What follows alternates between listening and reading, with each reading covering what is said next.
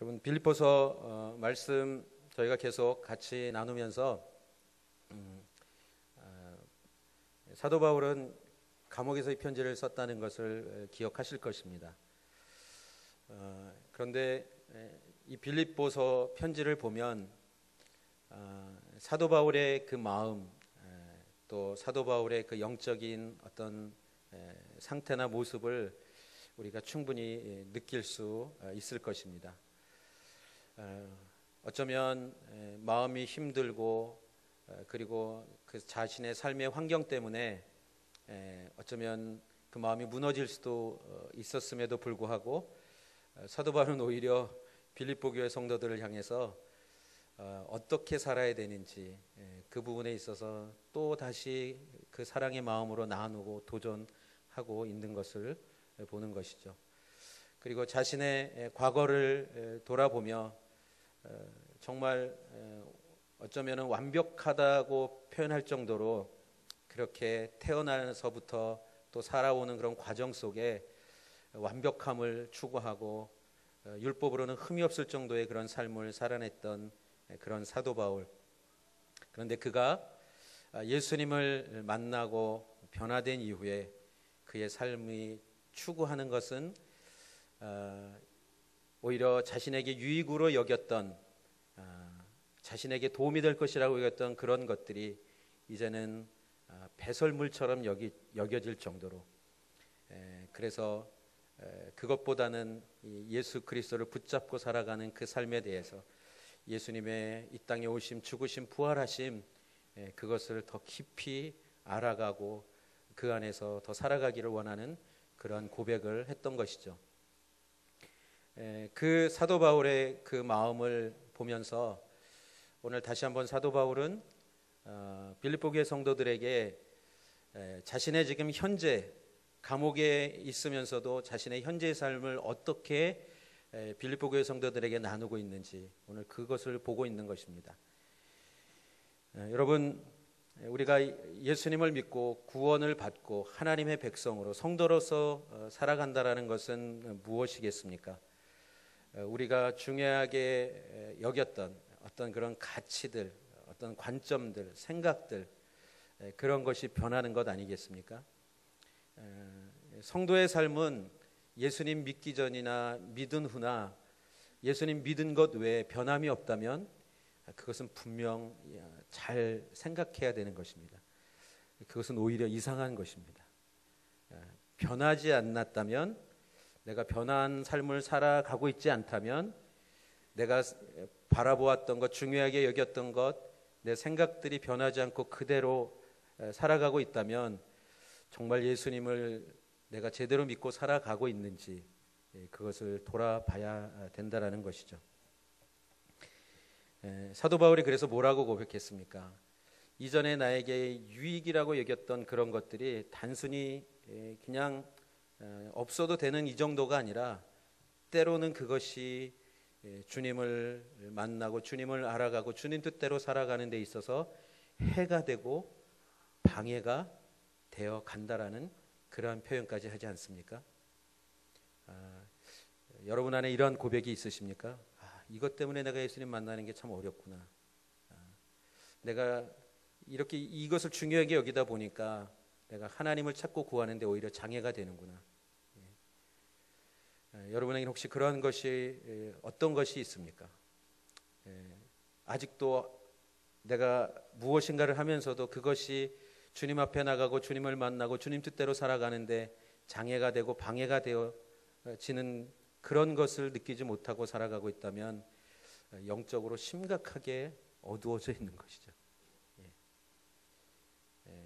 저는 그래서 우리 여성들을 향해서 여 성 우리 여성 성도님들이 다 그렇다는 건 아니에요. 혹시 그런 분이 계시다면 이렇게 얘기하는 거예요. 여러분 에, 아침 드라마, 저녁 드라마를 끊기를 주님의 이름으로 축복합니다. 예. 예, 드라마를 보면 이, 잠깐만 봐도 선한 게 없어요. 예. 모든 얘기가 다 불륜이에요. 막장이에요. 그걸 보면서 감동을 받는 게 저는 참 놀랍습니다. 그 그리고 또 봐요. 어떻게 되나. 막장 드라마의 결론이 너무도 뻔한데도 그 뻔한 결론을 계속 반복해서 보는 건 뭘까요? 여러분 그것은 그냥 보는 것이 아닙니다. 그거는 어느 정도 묶여 있는 거예요. 예, 굉장히 이거는 잘 생각해야 되는 부분입니다. 우리 남자 성도님들은 뭐가 있을까요? 네. 아, 다른 것도 있겠지만 예, 내가 아, 일하는 열심히 일하는 것은 중요합니다. 그렇지만 그 일이 지나칠 정도가 되면 사실은 그것은 잘 돌아봐야 합니다. 내가 왜 이 일을 하는지, 이 일을 내가 어떤 목적을 가지고 어떤 목표를 향해서 하고 있는지. 예. 워낙 한국 사회가 남성들이 직장에서 오랜 시간 일을 할 수밖에 없는 구조적인 문제도 있지만 거기에 살아가다 보면 어느새 그것이 당연한 것처럼 여겨지고 그것이 자연스럽게 여겨지고 있다면 그것은 분명히 돌아봐야 됩니다. 특별히 30대 막 이제 30을 넘고 40 초반 중반 한창 일할 때 이 한국 사회에서 내 마음대로 할 수 없는 그 구조적인 문제가 있지만 그럼에도 불구하고 내가 과연 내가 있는 곳에서 내가 이렇게 마음을 쏟고 일하는 진정한 목적은 목표는 무엇인가? 아, 그리고 다른 것을 돌아보지 않고 가정과 가족들과 그리고 내 내면의 영적 상태를 돌아보지 않고 이렇게 열심히 살아가는 것 자체가 하나님께 영광인 것처럼 착각하고 살아가는 그런 부분이 있다면 반드시 돌아봐야 할 것입니다. 에, 여러분 우리들의 삶에 있어서 하나님께서 분명히 변화되어야 될 부분들을 말씀해 주신다라는 것이죠. 사도 바울에게 있어서는 무엇을 가장 분명하게 말씀해 주셨는지 우리는 말씀을 통해서 배웠죠. 어, 그가 정말 자랑스럽게 여겼던 모든 것들이 예수님을 만나고 예수님이 어떤 분이신지를 알아가면 알아갈수록 아, 이것이 아니구나. 예. 여러분 사도 바울이 가지고 있었던 그것이 결코 만만한 것이 아닙니다. 누구나 쉽게 얻을 수 있는 그런 것이 아니에요.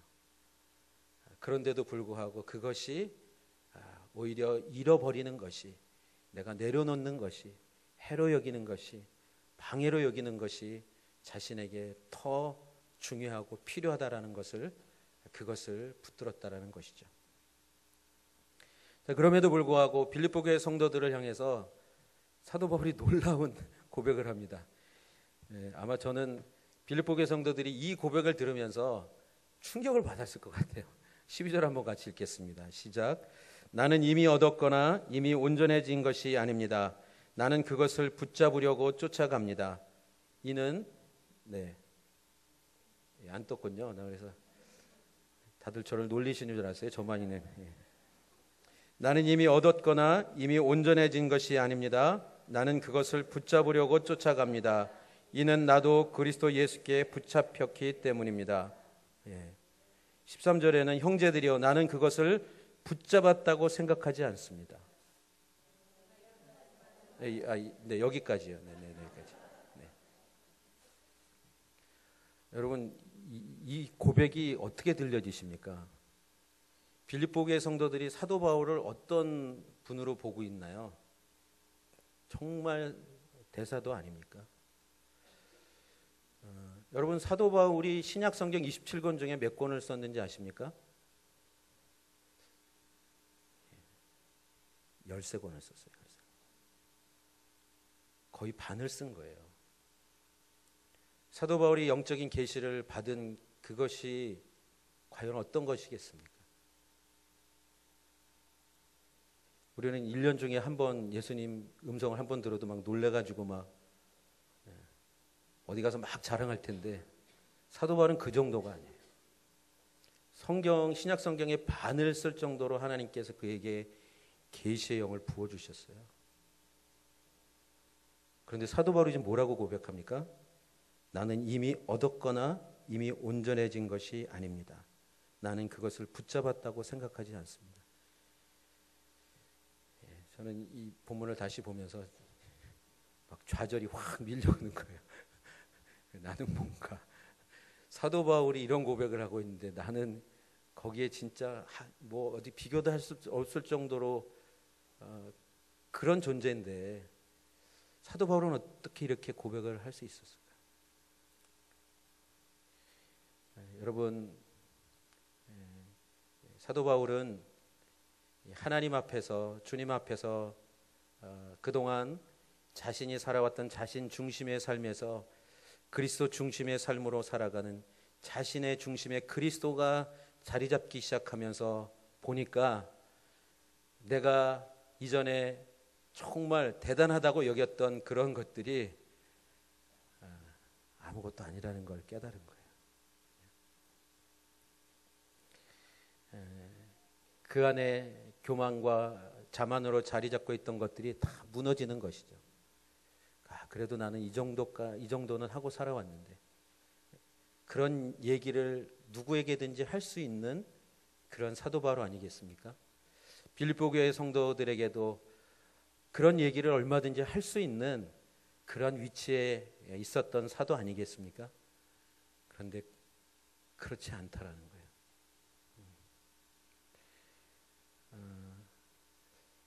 어, 우리는 예, 나의 신앙생활은 어떻습니까? 정말 내가 아, 주님을 더 알아가고 주님을 만나고 주님 뜻대로 살아가고 싶고 내 삶이 정말 주님 붙들린 주님 손에 붙들린 그러한 삶을 살아가고 싶은 그러한 마음이 과연 있는가? 예, 제가 요즘 계속 여러분들에게 도전하고 마음 아프게 하는 이 부분을 또 도전합니다. 여러분 내가 과연 주일 예배 한 번 드리고 온전한 이미 이루었다. 이미 붙잡았다. 그렇게 얘기할 수 있을까요? 이 사도 바울의 고백 앞에 과연 내 신앙이 그래도 나는 이 정도까지 하는데 오늘 담임 목사님이 그런 얘기를 하시더라고요. 예, 예수님 안 믿는 사람과 비교하고 그래도 나는 주일날 한 번이라도 교회 오니까 나는 괜찮지. 라는 생각을 만일 하고 있다면 오늘의 교회에서 끊임없이 오늘의 교회는 끊임없이 큐티 말씀 묵상 얘기하는데 그래도 생명의 삶도 안 사는 오늘의 교인이 있는데 나는 그래도 생명의 삶이라도 구독하고 있으니까 예. 혹시 이런 생각으로 이런 마음으로 내 신앙을 보고 있다면 그건 어, 과연 어떤 신앙일까요?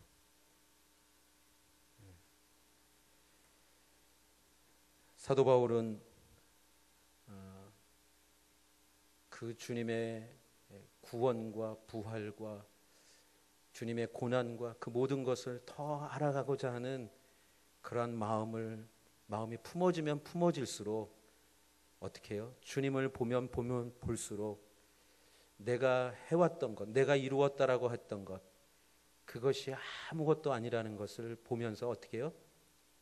나는 그것을 붙잡으려고 쫓아간다라고 해요.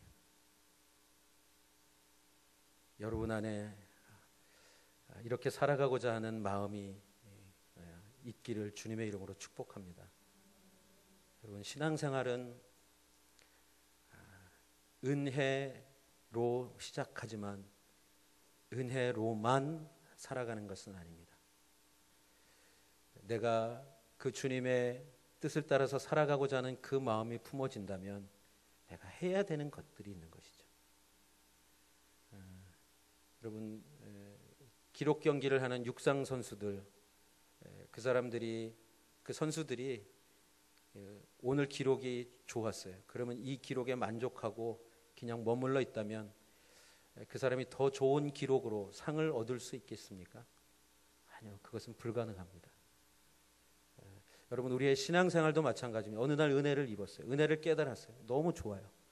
근데 그냥 거기서 멈춰 버린다면 내가 주님을 더 알아가고 주님을 만나기를 더 사모하고 기대하는 그런 마음들이 그 순간 멈춰 버린다면 그것은 멈추는 것이 아니라 후퇴하는 것이죠. 퇴보하는 것이죠. 사도 바울은 지금 뭐라고 얘기하는 것입니까? 과거에 있는 것. 13절에 보면 우리가 알겠지만 곧 뒤에 있는 것은 잊어버리고 앞에 있는 것을 붙잡으려고 한다 그래요. 그래서 우리 성도님들이 좀 이제 신앙생활 연륜이 되면 어떤 얘기들을 하게 되냐면 야, 왕년에 내가 다 해봤어. 나도 예전에 다 해봤어. 해봤는데 뭐가 어떻게 됐다라는 건지 어, 여러분 해본 것이 중요한 것이 아닙니다. 지금 내가 어떻게 하고 있느냐가 중요한 거예요. 예. 내가 만일 과거에 이런 것을 했고 또 이런 경험을 했고 이런 것을 쌓았고 이런 것이 내 안에 이런 성경 공부 내가 성경 공부 안 해본 거 없어. 내가 집회 안 다녀본 집회 없어. 내가 한국 교회 목사님들 설교하면 다 꿰고 있어. 다 꿰고 있고 다 봤고 다 경험했는데 오늘 현재가 어떻냐는 것이죠. 사도 바울은 어떻게 해요? 지금 그 쫓아가는 표대를 향하여 자신은 달려가고 있다, 쫓아가고 있다 이 얘기를 하는 거예요. 내가 과거에 있었던 것 물론 다 잊어버리라는 얘기는 아니에요. 예.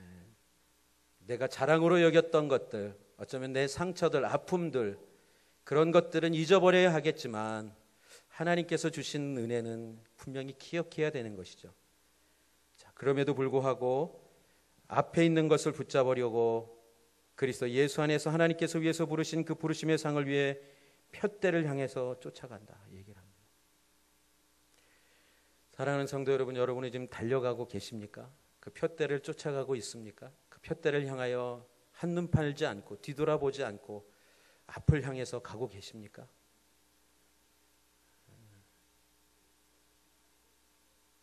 네, 그렇지 않다면 오늘 이 사도 바울의 고백을 나의 고백으로 분명히 삼아야 내가 다시 회복되고 살아나고 주님 안에서 영적으로 건강하게 살아가는 그 삶을 살아낼 수 있는 것입니다.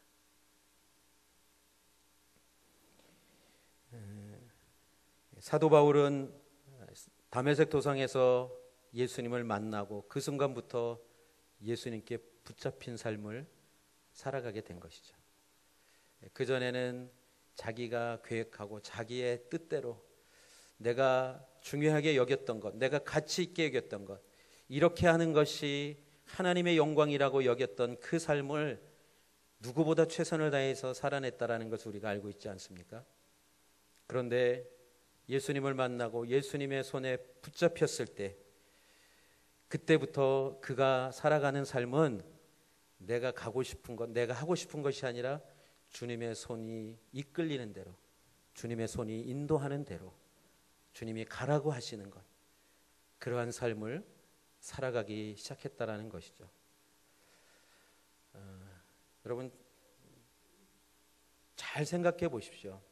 내가 계획해서 살아가는 인생이 더 잘 될 것 같습니까? 주님께서 계획하신 그 인생을 그 길을 가는 것이 더 잘 될 것 같습니까? 네. 대답은 너무 분명하죠. 여기서 먼저라 먼저 것이라고 얘기할 분이 있다면 그럴 분은 없을 거예요. 어, 분명히 뒤에 것이라고 얘기는 하지만 막상 우리의 현실은 그렇지 않다라는 거예요. 당장 어떤 일이 닥치면 어떤 문제가 생기면 우리는 정말 주님, 제가 이 상황 속에서 어떻게 해야 할까요? 제가 무엇을 해야 할까요? 하나님께 정말 묻고 하나님 앞에 나아가지 않는다면 여러분의 인생은 여러분의 삶은 여러분의 매일매일의 일상은 그냥 내 생각과 내 뜻대로 살아가는 것입니다. 저는 그래서 우리 자녀들을 향한 부모님들의 마음에 또다시 도전합니다. 여러분 자녀를 정말 복되게 하는 것이 무엇일까요? 내가 예수님을 믿는 부모로서 내가 예수님을 따라가는 제자로서 하나님께서 나에게 허락한 내 자녀를 내가 어떻게 양육하고 어떻게 자라가게 해야 되는지 자녀의 인생에 있어서 정말 복된 것이 무엇인지 여러분 그것을 여러분이 정말 주님께 묻고 주님께서 말씀하신 대로 한번 따라가 보신 적이 있으십니까? 그렇지 않고 그냥 세상이 하는 대로 그대로 그냥 따라가고 있다면 예, 그것은 분명히 그리스도께 붙잡힌 삶은 아닌 것이죠.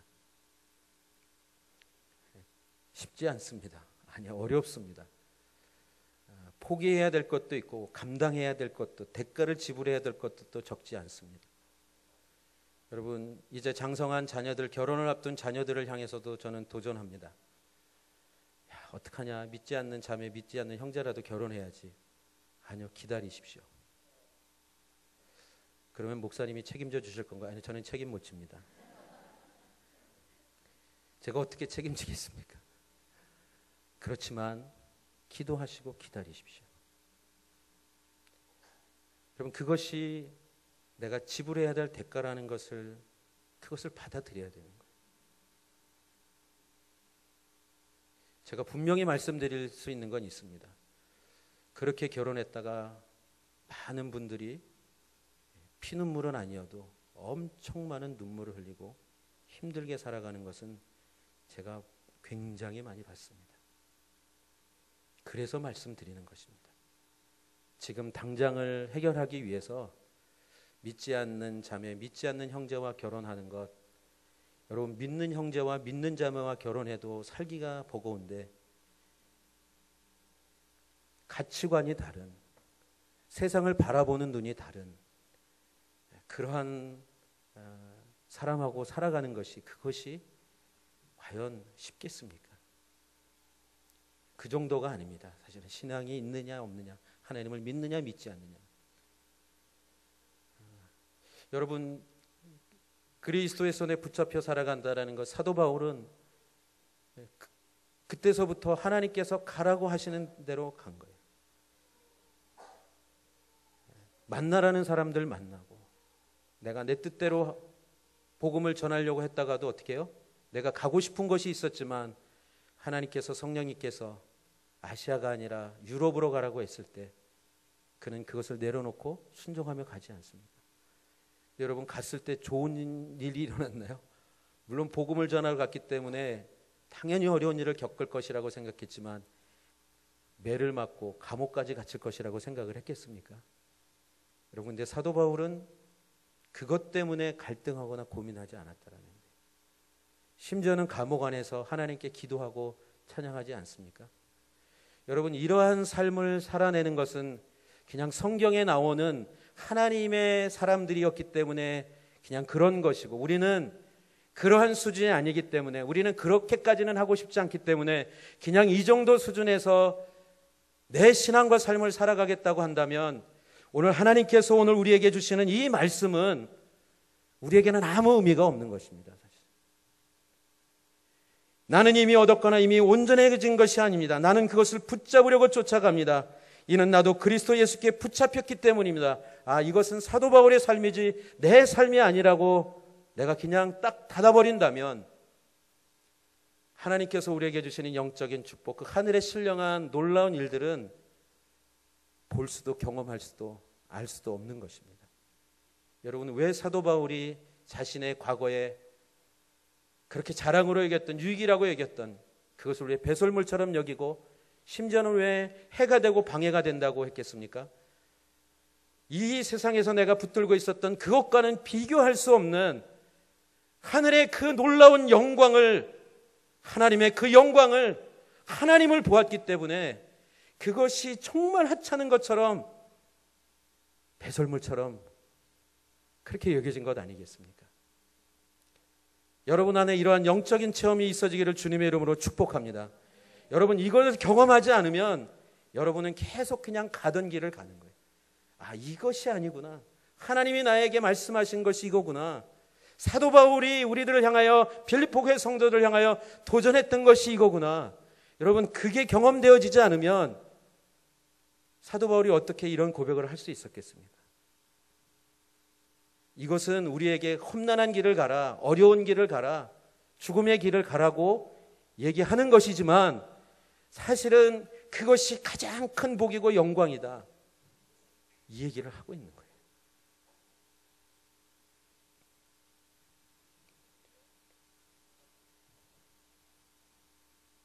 하나님께서 우리를 구원의 은혜로 부르셨습니다.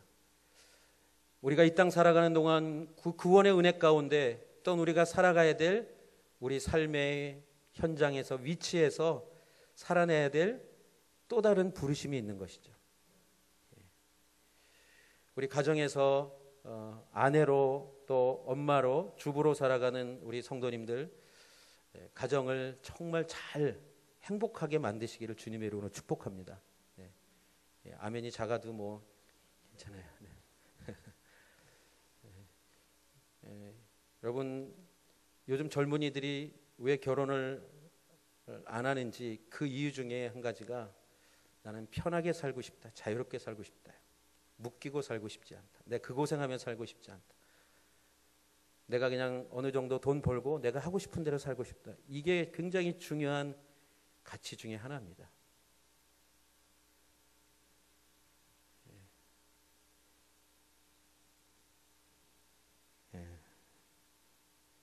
그것이 하나님의 부름일까요? 예. 우리 남자 성도님들 직장에서 정말 열심히 가정에 가서도 얘기하지 못할 어떨 때는 어려움과 때로는 수모와 수치를 당하면서 육신적으로 마음적으로 힘들고 지친 마음을 가지고 어, 살아가는 것 누가 알겠습니까? 그렇지만 주님은 아십니다. 그래서 내가 있는 그곳에서 때로는 힘들고 지치고 마음 상하는 일이 있어도 하나님 제가 이곳에서 하나님의 백성답게 살겠습니다. 이러한 믿음의 고백과 결단이 있기를 주님의 이름으로 축복합니다. 예. 하나님께서 귀하게 보시고 복되게 여기실 것이라고 저는 분명히 믿습니다. 여러분 가정에서도 마찬가지 아니겠습니까? 예, 우리 자녀 세대들, 우리 다음 세대들이 우리가 표대를 향하여 예수 그리스도를 붙잡고 그 붙들림 바 되어 살아가는 그 신앙을 볼 때 다음 세대는 희망이 있는 것입니다. 저희 우리 교회는 60대 이상 된 분들이 생각보다 많지 않아요. 오히려 30대, 40대가 제일 많은데 그럼에도 불구하고 어, 우리 시니어 팀에서 더 본을 보이고 더 이렇게 살아가야 된다라는 그러한 믿음과 신앙의 도전을 주시는 우리 시니어 팀이 되기를 주님의 이름으로 축복합니다. 아, 나는 이제 60이 넘었고 70이 넘었고 아, 이제는 나는 힘이 없고 아니요. 그 하나님 보시면은 제가 생각할 때는 웃으실 것 같아요. 네. 물론 몸이 약해지죠. 또 걷는 것도 때로는 어, 떤 힘을 쓰는 것도 분명히 약해지지만 저는 그 육신적인 연약함 이전에 그 마음이 약해지지 않기를 주님의 이름으로 축복합니다. 주님, 제가 주님의 사람입니다. 제가 표대를 향해서 가는 하나님의 사람입니다. 제 나이와 제 상황에 묶이지 않게 하시고 주님 부르시는 그날까지 제가 충성되게 최선을 다해서 주님을 바라보며 달려가는 그 경주를 멈추지 않겠습니다. 예, 감사합니다, 집사님. 네. 네. 아, 이러한 고백과 삶을 살아내는 믿음의 선배들을 볼 때 우리 다음 세대들은 과연 그것을 보면서 이상하다고 생각할까요? 아니면 감사하다고 생각할까요? 음. 여러분 신앙도 보니까 보는 만큼 따라하게 돼 있습니다. 여기 있는 우리 젊은이들을 위해서 우리 먼저 신앙생활하고 먼저 삶을 살아낸 우리 어른들이 하나님을 향한 그 마음을 품고 표대를 향하여 달려가면 하나님께서 우리에게 예비하신 그 부르심의 상을 바라보며 의의 면류관을 바라보며 오늘 하루를 충성되게 살아가는 그 모습을 보면 어찌 도전이 되지 않고 어찌 감동과 감격이 없겠습니까? 예. 저는 우리 평택온누리 교회가 그런 교회가 되기를 주님의 이름으로 축복합니다. 아이 우리 젊은이들에게 아이들에게 하라고만 하는 그러한 신앙이 아니라 이렇게 해야 된다라는 신앙을 보여주는. 예. 예. 그러면 하나님이 어찌 우리 교회에 복을 주시지 않겠습니까? 주님을 붙잡고 주님의 붙들림 바 되어 내가 살아낼 그 삶을 살아내고자 하는 그 헌신 앞에 하나님께서 어찌 은혜를 주시지 않겠습니까? 그래서 사도 바울은 15절, 16절에 보면 그럼에도 불구하고 이런저런 생각이 있을 수 있지만 왜냐하면 신앙이 시작한 시점이 다르고 또 현재를 볼 때도 신앙의 수준들이 다르지만 16절 한번 같이 보겠습니다. 시작. 우리가 어디까지 이르렀든지 그대로 그 길을 쫓아갑시다. 예. 예. 지금 내가 있는 그곳에서 어디까지 이르렀든지 내가 가야 될 그 길, 표대를 향하여 가는 그 발걸음을 끝까지 잘 가라고 얘기하고 있는 거예요. 사도 바울이 왜 이 얘기를 했을까요? 나는 이미 얻은 것도 또 온전해진 것도 붙잡은 것도 없다. 그럴 때 빌립보 교회 성도들이 뭔 얘기야? 그럼 우린 뭐야? 이런 생각을 할 수 있는데 그렇지 않다는 거예요. 각자 지금 어디까지 이르렀든지 그대로 그 길을 쫓아가라. 하나님께서 그 한 사람 한 사람에게 필요한 은혜를 주시고 그 표대를 향하여 가는 그 발걸음을 끝까지 갈 수 있도록 그 수준에 맞게 하나님께서 인도해 주시고 은혜를 주신다라고 그렇게 말씀하고 있는 것입니다. 여러분 그래서 음, 제가 계속 얘기하지만 예, 서로를 보면서 격려가 필요한 거예요. 예. 이 격려라는 이 표현이 그냥 되어지는 것이 아니라 아 현재를 보면서 아 지금 잘하고 있습니다. 예. 지금 잘 쫓아가고 있습니다. 우리 함께 잘 쫓아갑시다. 당신은 이것 때문에 안 되고 이게 문제가 있고 이런 얘기를 하라는 것이 아니라 지금 그 현재의 모습 속에서 하나님께서 그 길을 가도록 은혜 주신 것을 서로 어떻게 해요? 칭찬하고 축복하고 함께 가라. 예. 예. 그러면 각자의 길을 가면서도 어떻게 해요? 함께 가는 것이죠. 이것이 놀라운 하나님의 은혜입니다. 각자의 수준과 가는 발걸음은 다른 것 같은데 함께 가는 거예요. 함께. 여러분 이 세상의 소망이 무엇이겠습니까? 우리나라의 이 현실을 보며 우리들도 마음이 아프고 정말 힘들지 않습니까? 그런데 우리는 소망이 있지 않습니까? 주님, 이 땅을 회복시켜 주실 분은 하나님밖에 없습니다. 하나님 이 땅의 소망은 교회밖에 없습니다. 하나님의 백성밖에 없습니다. 여러분 하나님이 없는 사람들은 정말 절망이에요. 물론 나름대로 이렇게 저렇게 막 해결해 보려고 하지만 거기서 얼마나 좋은 것이 정말 선한 것이 나올 수 있겠습니까? 해결 방안이라고 내놓는 그 생각들이 그 마음들이 정말 순수한 마음들이라고 우리가 느껴지지 않는 이유는 무엇일까요? 세상은 그렇습니다. 나라를 위한다고 얘기하고 국민을 위한다고 얘기하고 세계 문제를 해결하자고 얘기하면서도 끊임없이 자기 욕심과 욕망과 그것에 초점을 맞춰서 가고 있지 않습니까? 여러분 이 난제를 이 위기를 정말 진심으로 마음에 품고 눈물로 기도할 수 있는 그 사람들은 누구이겠습니까? 오늘 하나님께서 우리에게 부르신 그 부르심의 상을 바라보며 우리가 가야 될 그 표대를 향하여 가는 그 길을 가는 사람들을 통해서 하나님께서 이루어 주실 것이라고 저는 분명히 믿습니다. 오늘 이 자리에 있는 저와 여러분이 그러한 하나님의 사람들이 되고 하나님의 교회가 되기를 주님의 이름으로 축복합니다. 함께 기도하겠습니다.